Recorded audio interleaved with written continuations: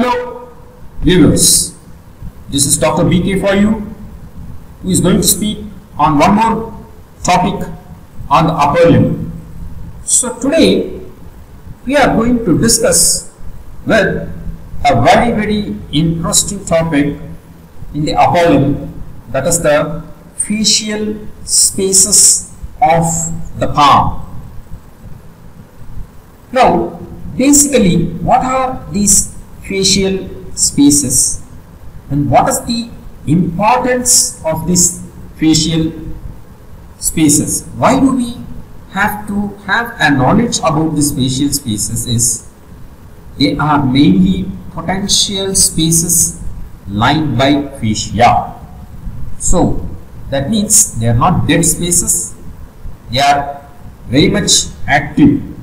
Okay, it is a existing life space where some collection of pus or fluid or blood can actually takes place and because of that what happens is it might give rise to some complications. Now it is actually present in the hollow of the palm that is why it is called as the fascial spaces of palm or palmar spaces. It is not only present in the hollow of the palm, it is also present opposite your distal phalanx. Okay, so that is the end part of your digits. So to be tell it as roughly, it is present opposite the tip of your fingers. So there is also a very much potential spaces. So the especially with respect to the palm, it is present deep to the palmar aponeurosis.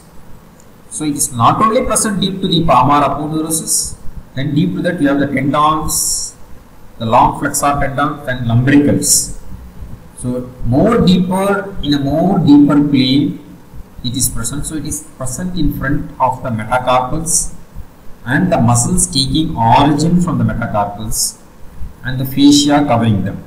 So between this and deep to the long flexor tendons, digital vessels and nerves, you have these spaces. So these spaces, it cannot be explored or cannot be demonstrated as such, but these spaces only we come to know its existence when it is filled by some fluid material. Now, so basically knowledge of these spaces is essential to know the spread of infection. So if at all if there is an infection in any part of your hand, the knowledge of these spaces is necessary because mostly pus tends to collect in these spaces. And from these spaces from there on the pus can point out or it can spread to the neighboring areas from one space to the other space. Okay so that is why this is necessary knowledge of this like how the lymphatics we have learned in the breast and knowledge of the axillary lymph nodes is essentially to know the spread of, cancer or metastasis. So in the same way knowledge of these spaces is necessary. So once we have a very good knowledge of these spaces, then we can go for surgical drainage of pus. So coming to the palmar spaces, first you see the palmar aponeurosis. You know it is a flattened tendon and it is the most uh, superficial structure. It is present deep to the superficial fascia and it divides into four slips and all those things. Now, if you look at from the medial border or ulnar border, then from the radial border or ulnar, radial border or the lateral border, it sends two septa deep to get attached to the metacarpal bones. Thereby, it is dividing this space in the hollow of the palm into three spaces. Okay, so from the medial border attaches to the fifth metacarpal from the lateral border attaches to the third metacarpal. Okay. So way you have the central palmar space or mid palmar space. Then you have one more space which is the thenar space. These two are very important. And of course here also there is a very small space but not much potential as such of this uh, the thenar and the mid space. That is the hypothenar space. Okay. So here I am able to see the palmar aponeurosis which is sending fibrous septa laterally and medially which is getting attached to the third metacarpal and the fifth metacarpal. Thereby dividing the spaces into three or dividing your palm into three compartments mid palmar or central palmar hypothenar and the sorry thenar and the hypothenar space so a topographical representation of the spaces you are able to see here the central palmar space you see here. Then you are able to see the thenar space. Whereas hypothenar space is not much present but instead of that you see something called as ulnar bursa and one more. Projecting here on top one more space is shown. Here is the radial bursa. So what is ulnar bursa and radial bursa? We will see at the later stages of the lecture. So in the palm mainly you have three spaces thenar space central palmar space and hypothenar space. Of these three main are the thenar space and the central palmar space. So a better understanding of the disposition of these spaces so that is where actually they are situated and what are the extensions of this space a cross section of the hand will make our understanding much easy. So this is your anterior or the palmar aspect and that is the dorsal aspect of your hand. Covered by skin, deep to skin, superficial fascia filled with abundant fat you are able to see here. In the deep fascia mainly what you see here this white color line is the palmar aponeurosis. If you look at the palmar aponeurosis laterally it blends with the deep fascia over the thenar muscles and here deep fascia over the hypothenar muscles. Now it gives two extensions you are able to see it is called as the medial palmar septum okay, that is actually called as the medial palmar septum and one more septum is here lateral palmar septum. Okay. You have the lateral palmar septum. Whereas the intermediate one is somewhat oblique. The medial palmar septum extends downwards attaching to the fifth metacarpal bone. Whereas the intermediate septum passing obliquely and getting attached to the third metacarpal bone. So these are the tendons flexor digitorum superficialis, flexor digitorum profundus of the second, third uh, and fourth digit, four tendons. Okay. So this is third, fourth and fifth. This is the second one for the index finger. This is for the middle ring and the little finger. So superficialis and profundus tendon. This is flexor pollicis longus tendon and synovial sheaths surrounding it. You have a separate synovial sheath surrounding the flexor pollicis tendon. This is your thenar group of muscles. This is hypothenar group of muscles. Bipinnate dorsal interossei. 1, 2, 3 and 4 dorsal interossei. These muscles are the palmar interossei. Transversely oriented is the adductor pollicis. Okay. In between these long tendons, you see the digital vessels, that is the arteries and veins, and that is the space for you, thenar space, and this is the central or mid palmar space. Very narrow hypothenar space you are able to observe here. So posteriorly, mostly you are able to see skin and fat then you are able to see the dorsal vessels and nerves and tendons of extensor tendons. Okay, the long extensor tendons, extensor digitorum, extensor digiti, minimi, extensor indicis. So those tendons you can see posteriorly. So that is the general arrangement of structures in the cross section of the palm. If you look at the mid palmar space, it is very roughly triangular in space Anteriorly, you have the palmar aponeurosis and long flexor tendons of the third, fourth, and fifth digit. So that is the tendon of flexor digitorum superficialis and tendon of flexor digitorum profundus. Then you also have the lumbrical muscles which is going to originate from these ones. So mainly the third and the fourth lumbricals, bipinnate muscles. Third and fourth lumbricals are bipinnate which will be arising adjacent sites of the flexor digitorum profundus tendons. Behind what you see is the third, fourth and fifth metacarpal bones. Then the dorsal interossei, third and fourth interossei. Okay. And sometimes the transverse set of adductor pollicis also forms the posterior relation. So anteriorly third, fourth lumbricals and tendons for the third, fourth and fifth digits long flexor tendons. Behind 3, 4, 5 metacarpals and third and fourth dorsal interossei covering. Okay. Medially, what you see is the medial fibrous septum. So that is the palmar septum or medial fibrous septum which is present here. And laterally, what you see is the oblique septum. See here, it is actually obliquely disposed, uh, running from the palmar aponeurosis to the third metacarpal bone. So laterally, what you see is the oblique septum. So the contents mainly in this space or the mid palmar space, superficial palmar arch. So deep to the palmar aponeurosis definitely of the superficial palmar arch. Tendons of the third, fourth and fifth fingers, three, four and five fingers. Then lumbricals, second, third and fourth lumbricals will come here, third and fourth will be here, second lumbrical will be here. Then digital vessels you are able to see and digital nerves of the medial three and a half fingers.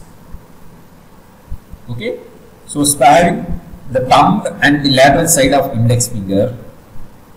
The other digital nerves are present in the central palmar space.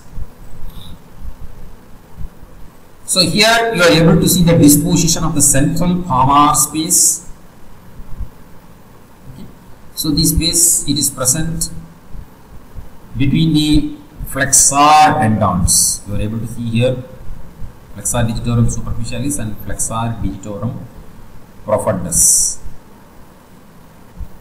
Now, if you look at these spaces, distally they are actually continuous with the fascia over the lumbrical canals.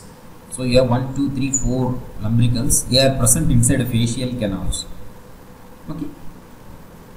So naturally they are continuous with the lumbrical canals which are actually passing through the web space. So near to the web space they are very closely or intimately related to the web space.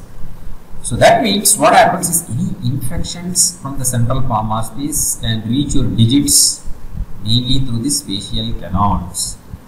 That is one way. Sometimes infections from your fingers also what happens due to gravity or sometimes it might track down to your central palmar space. Now, if at all there is an infection in the palmar space, central palmar space, it can be drained by making the incision here over the web space of the third and fourth and fourth and fifth digits. So, in the web space, a surgical incision can be given and pus can be drained. So, you can give a surgical incision at this level or you can open these lumbrical canals and drain the pus from the central palmar space. The next uh, space which we are going to discuss is the thenar space. So here you are able to see another potential space which you see here is the thenar space. So anteriorly you see the thenar group of muscles. You know what are the thenar muscles? Abductor pollicis, brevis, opponens pollicis, flexor pollicis brevis. Okay, then you have the tendon for the index finger. Index finger tendon of flexor digitorum superficialis and flexor digitorum profundus. Then you have the first lumbrical and sometimes even the second lumbrical. Okay. Now, 15% of the subjects, what happens is sometimes this intermediate oblique septum might be deficient. Okay, and so what happens is infections from the thenar space can easily spread to the central palmar space or vice versa. That is in the reverse direction also the spread of infection can take place if the septum is incomplete. Okay, so anteriorly the thenar muscles you are able to see tendon of the index finger and lumbrical, first and second lumbrical. Fascia covering the transverse end of adductor pollicis forms the posterior limit and more posteriorly are the first dorsal interossei muscle. So laterally you will have a septum here which is called as the lateral palmar septum and medially what you have is the oblique or the intermediate septum. So this space, the thenar space, you are able to see it is somewhat triangular and it is present lateral to the mid palmar space. So this is the mid palmar space and this is actually your thenar space. Okay. So an imaginary or schematic representation of the space which is seen here immediately present anterior to the transverse end of adductor pollicis and the first dorsal interossei. So contents of this thenar space, you are going to have the tendon of flexor pollicis longus. Okay, tendon of flexor pollicis longus, then tendon to the index finger, digitorum profundus and superficialis, first lumbrical. Okay. Then you are able to see concerned with this the fingers thumb and the lateral side of index finger the digital vessels. So mostly the branches from the radial artery okay branches from the radial artery and this is branches from the median artery especially the lateral uh, ramen from the lateral ramen they are going to supply. So the digital vessels are now concerned with the thumb and the lateral part of the index finger passes through this thenar space. So that is the topographical representation of the thenar space for you. So you are able to see the tendon of the index finger, first lumbrical, you are able to see your flexor pollicis longus tendon. Here you are able to see and more posteriorly we have the dorsal interossei, first dorsal interossei. Now if you look distally, the space is continuous along with the first and second lumbrical canals. Okay, okay, between the interdigital clefts, first and the second interdigital cleft. So naturally infection of this thenar space can be drained by incision in the web space of the first interdigital cleft. So here mainly they are given where all the site of abscess formation. Pulp space mostly here we will come to pulp space later. So thenar space this place what happens will be very much swollen central palmar space it will be more here. Now incisions for this you are able to see here in the web space for the thenar space will be given here for the forearm spaces the incision on the lateral side. Same way for the pulp space infection fingers. The incisions are actually given laterally. So site of incisions are all actually given in the red color for you. So mainly for the thenar space, incision is actually given on the first or second interdigital clefts to drain the pus. Now next coming to the hypothenar space, we have already seen in the last uh, picture a very narrow space present medial to the medial septum of palmar aponeurosis which contains hypothenar muscles lined by fascia. This is clinically insignificant because it is not very much a potential space as compared to the thenar space and the central palmar space. So we will quickly move on to the okay. So here we are able to see a very narrow space that is the hypothenar space for you between the medial septum and the fascia covering the hypothenar muscles. Next very important space is the pulp space of fingers. Okay? So here you are able to see the distal phalanx. So this space is present anterior or in front of the distal phalanx it is actually a closed space. Okay? It is closed on all sides. It is distal to the fibrous flexor sheath. So fibrous flexor sheath attaches only to the base of the distal phalanx. The boundaries in front you have the skin and behind you see the distal phalanx. The space is actually divided into numerous compartments. The fibrous septa running and dividing it into numerous compartments. From the deep the skin to the phalanx, you see these are the fibrous septa. And in these compartments, it is the space is not loose because these compartments are tightly filled with fat and your digital arteries passes through these compartments. So blood vessels to the distal phalanx is going to pass through this space. So here you are able to see this shaded area is a pulp space of the finger distal phalanx is actually present here skin from the skin to the periosteum you have fibrous septa.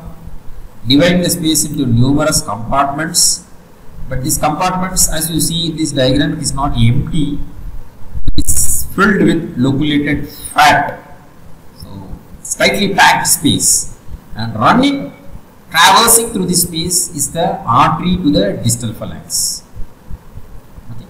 mainly to the shaft and the, the lowermost end of the distal phalanx. Now, if you look at the digital artery supplying the proximal or the base of the distal phalanx, it lies outside the pulp space. The branch which is supplying the base of the distal phalanx, you are able to see it lies outside the pulp space. So this digital branch does not pass through this septum okay so it's safe whereas these branches to the distal four-fifth of this distal phalanx passes through this pulp space the proximal part does not pass through this fibrous septa through the pulp space but branches to the distal part four-fifth of the distal phalanx passes through this fibrous septa and the pulp space so when this space gets infected it is called as Whitlow. So infection of this pulp space is actually called as the Whitlow. Severe pain, throbbing pain, severe pain. Why the severe pain is because the pus gets collected, there is collection of pus, but there is no space for expansion. Why? Because there are fibrous septa and in the gaps between the fibrous septa you have filled with fat. So naturally the space is unyielding. The pus is trying to expand but the fibrous septa and the fat is not giving space. So that is why what happens is you have a very severe pain in the infection of this pulp space. Now you want to give an incision, what happens is you give a lateral incision. So on the sides and drain the pus. You are not supposed to give incision here or somewhere. So mostly laterally or laterally or near to the dorsal side laterally you give an incision. You and then drain the pus. Okay. Now otherwise what happens is if you are not going to drain the pus from the lateral incision somewhere here instead you give a in the front then you might cut these digital arteries okay. So to avoid that only the lateral incisions are actually given here. That is one thing. Now second one is if there is going to be a complication that is if it is going to left untreated thinking that it is going to resolve on its own. Okay. then what happens is it leads to necrosis of the distal phalanx. Why? Because the four-fifth digital arteries passing through this space, naturally it will cut the blood supply. So these branches to the distal four-fifth cannot reach, the blood supply will be interrupted and naturally what happens, the distal phalanx undergoes necrosis. So better, that is why what happens is if the pus is not uh, resolving, the pain is not resolving, then naturally a surgical incision is given at these points which is shown here. Now this lateral side is for the infection of the synovial sheath of the digits. You know, synovitis of synovial sheath gets inflected, then naturally they can be drained through here. And this is also drainage uh, for one more thing, we will come to it later. Now, the cases of surgical drainage of these spaces nowadays, if you look in an outpatient department or clinic, it is becoming less and less common. Why? Because it is due to the use of antibiotics.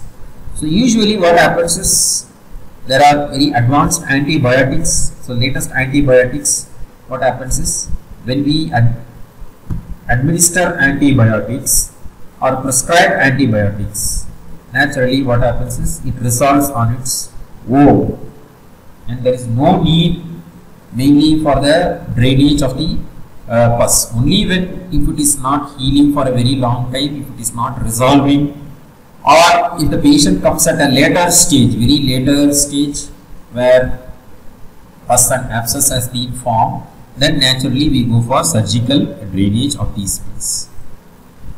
There are also some other spaces on the dorsum of the hand, mainly two spaces you will be able to see. One is the dorsal subcutaneous space, another one is the dorsal subaponeurotic space.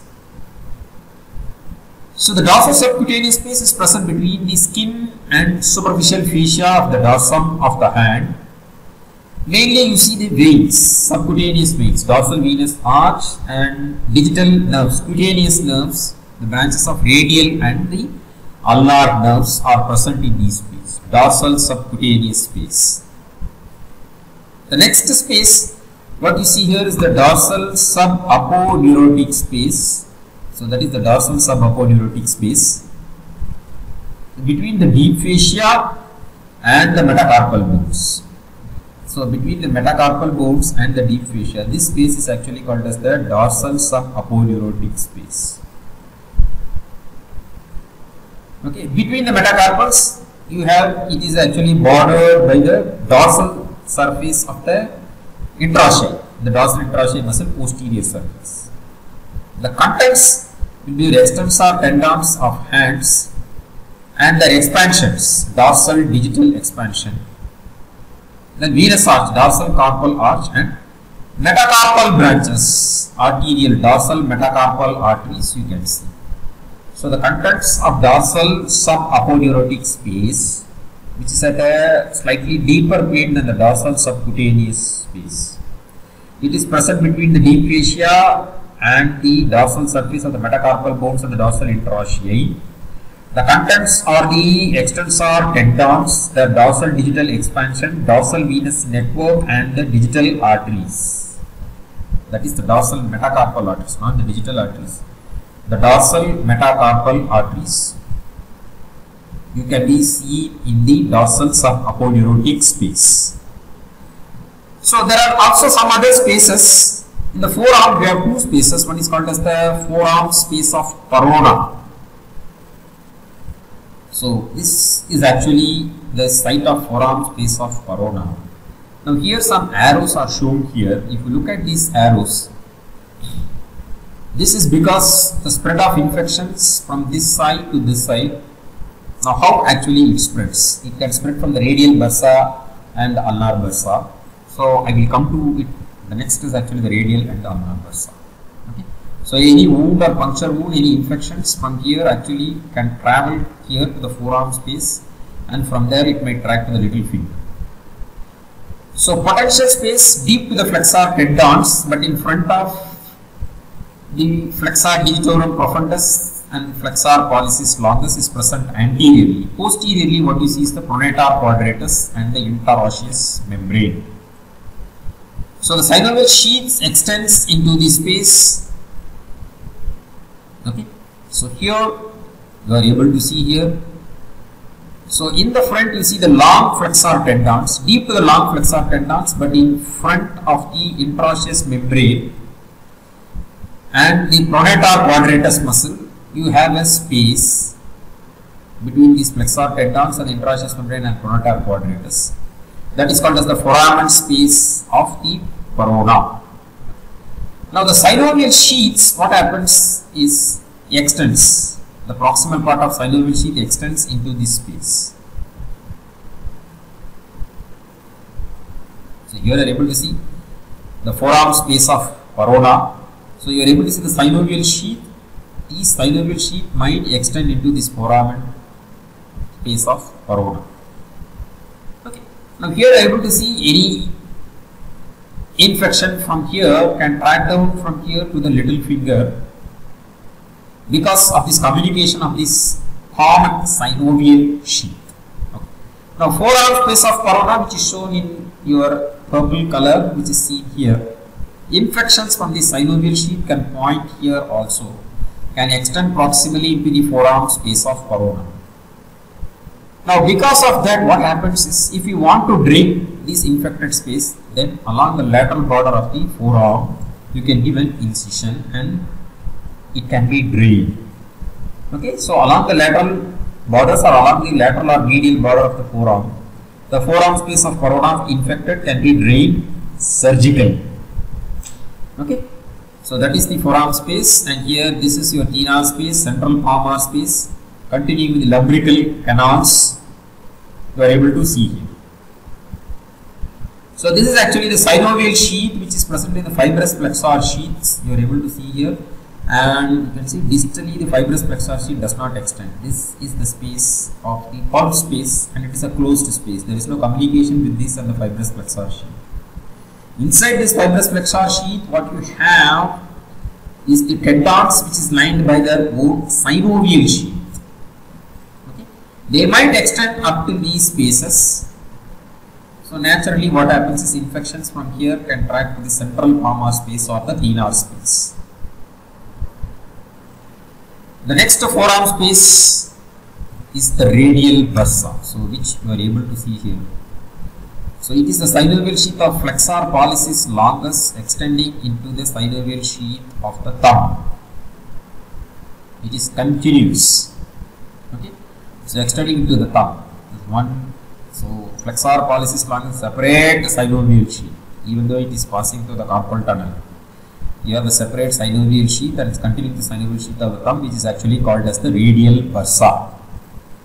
You are able to see the ulnar bursa is a common synovial sheath. It's a double layered sheath you are see here. It has got a parietal layer, it has got a visceral layer.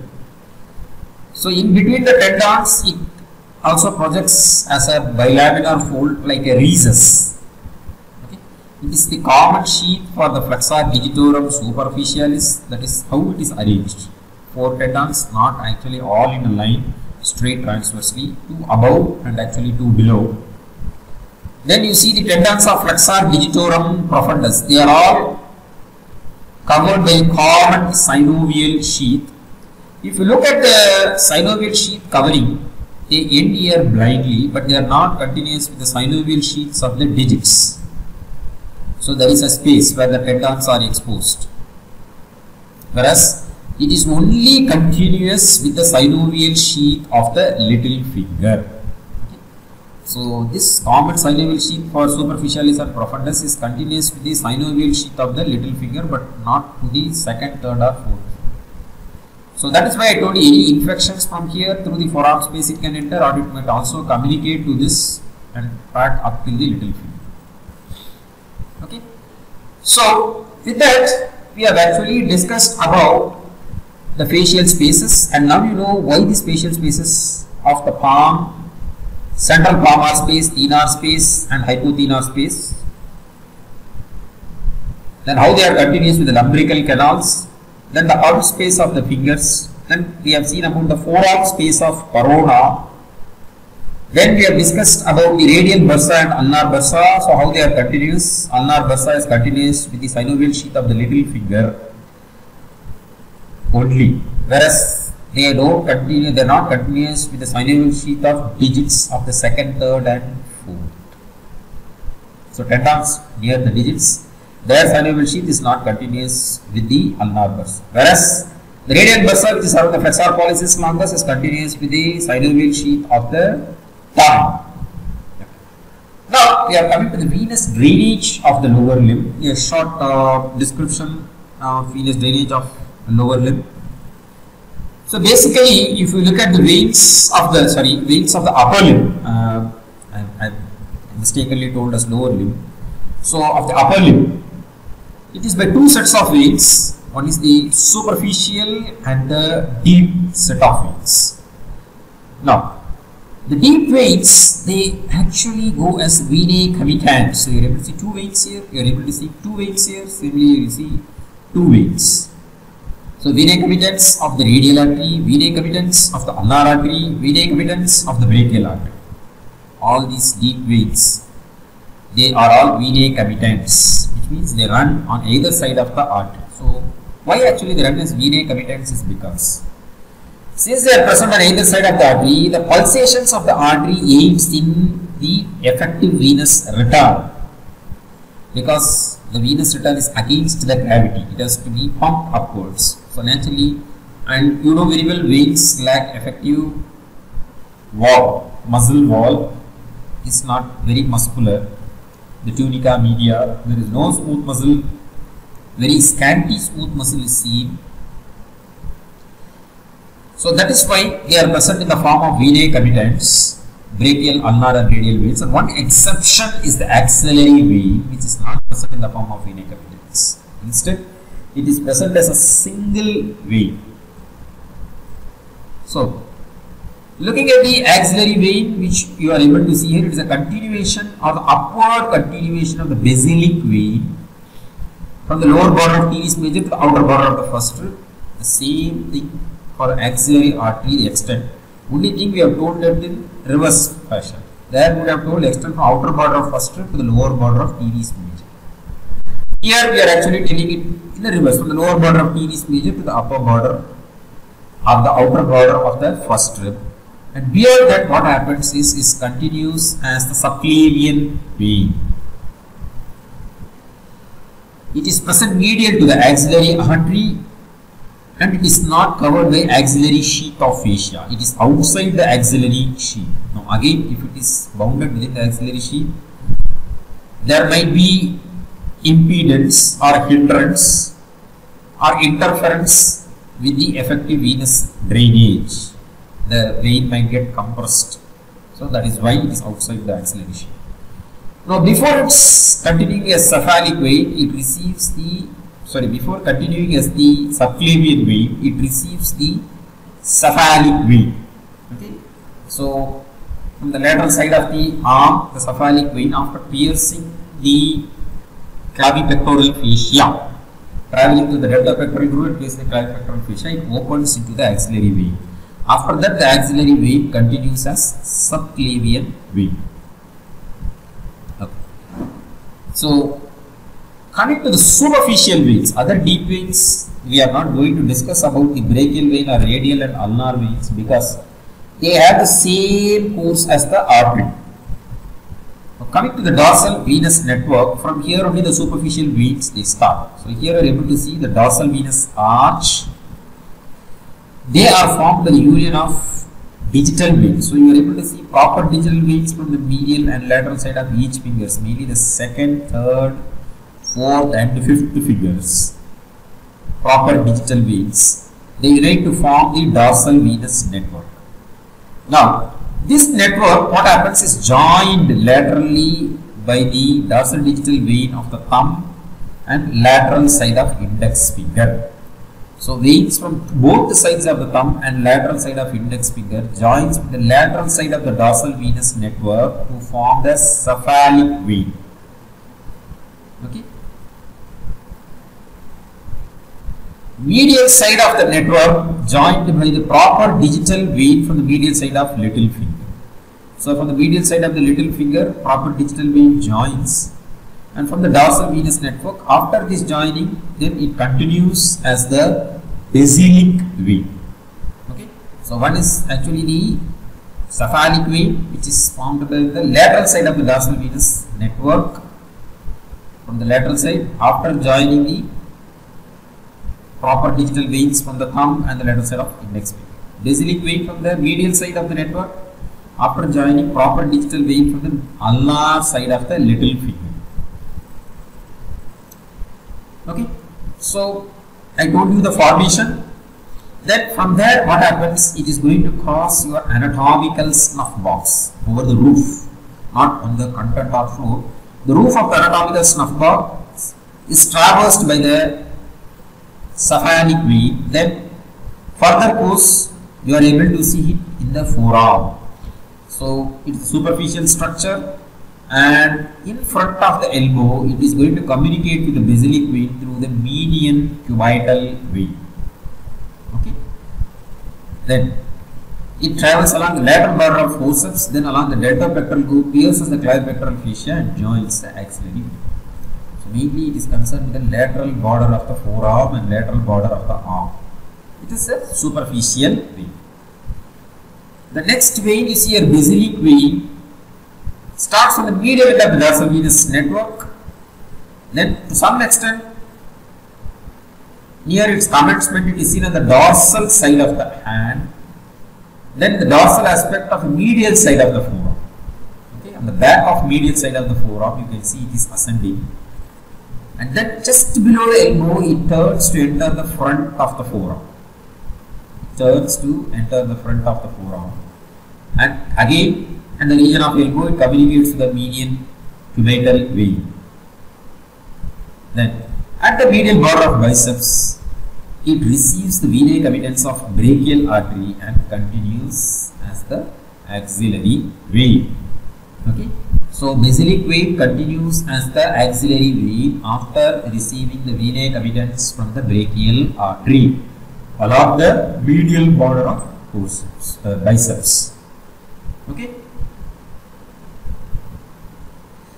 The next superficial vein, very important vein, is the median cubital vein. So here you are able to see the median cubital vein connecting the cephalic vein and the basilic vein. Okay. So connecting the basilic and the cephalic vein sometimes it also receives here in the center the median vein of forearm. Same way there is also an artery which is also called as the median artery which accompanies and it is also called as the axis artery of forearm. So axis artery means for the development of the limb this axis artery serves as the center axis around which the limb develops okay based on this axis only we can tell whether which is the anterior which is the posterior medial and lateral axis which is the axis artery means it is actually the artery accompanying the median nerve. So median vein sometimes what happens directly in the front comes and ends in the median cubital vein. So one of the tributary and occasionally veins are more prone for variations a variation gains important only when there is an interference in the function. So this is actually the preferred vein for blood sampling. So you do venipuncture and withdraw the blood. So for mainly so many diagnostic tests and all those things. And if you want to give inject some drugs, uh, naturally what happens is this is the most preferred vein even for intravenous injection. Why? Because First thing, it is superficially present, not very deep, so that we need not have, uh, worry about damage of any other vital structures. Then it is present on top of the bicipital aponeurosis. So thereby, only deep the bicipital aponeurosis, your brachial artery or median nerve might be present. So very remote chance of damaging these structures because the bicipital aponeurosis protects the deeper structures.